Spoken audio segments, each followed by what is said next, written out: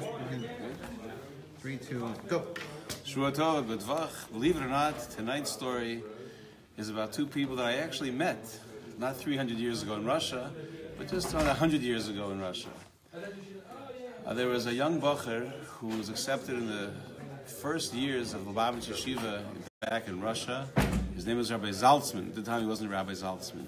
And he was a very, very lively young man, and he was maybe 14, 15. He was wild and crazy, and to keep him busy, they gave him different duties. One of them was take care of some goats.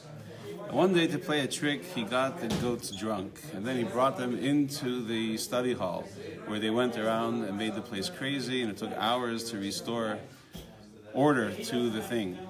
As you can imagine, the teacher involved was not very happy. He went and reported to the Menahel, the director of the yeshiva, who was at the time the previous Rebbe, and said, I can't have these three boys in my school. And the young man and his friends were summoned, and they were told, pack your bags, go catch a train. We're not, you're not welcome in this school. We have no room for a person, people like you. So they had no choice, and they packed their bags. They took the horse and wagon to get to the nearby train station.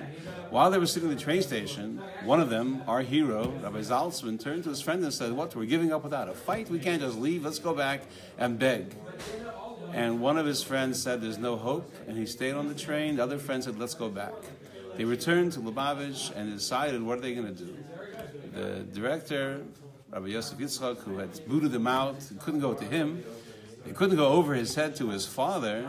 They decided to go to his mother, to the Rebbitzin, who was very close to all the students in the yeshiva. She cared for all of them like a mother, sewing and baking and cooking and worrying about them when they weren't feeling well. So they went to her and said, Please help us. We were thrown out because we were kind of silly. We made this joke, and please help us get back in.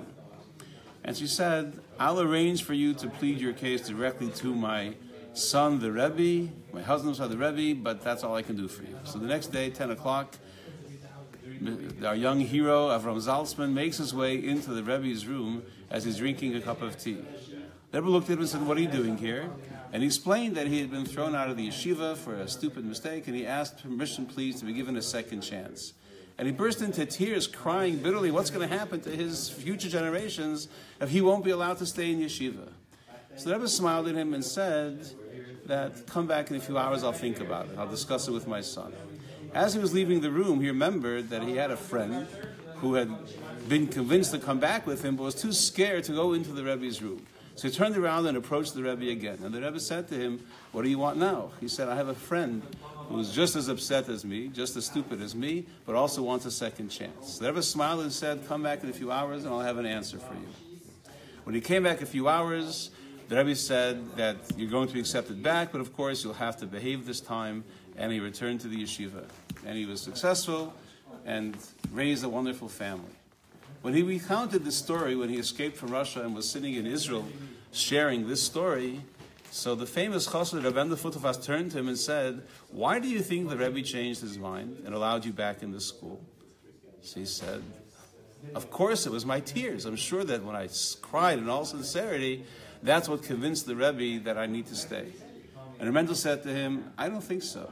I think it was the fact that you came back and said, I have a friend, and my friend needs also to be allowed back in the yeshiva. It was your love and concern and sticking up for your friend that persuaded the Rebbe that you should be allowed to stay. Loving a friend, caring for a friend, truly caring for a friend is an awesome thing. May we all do that.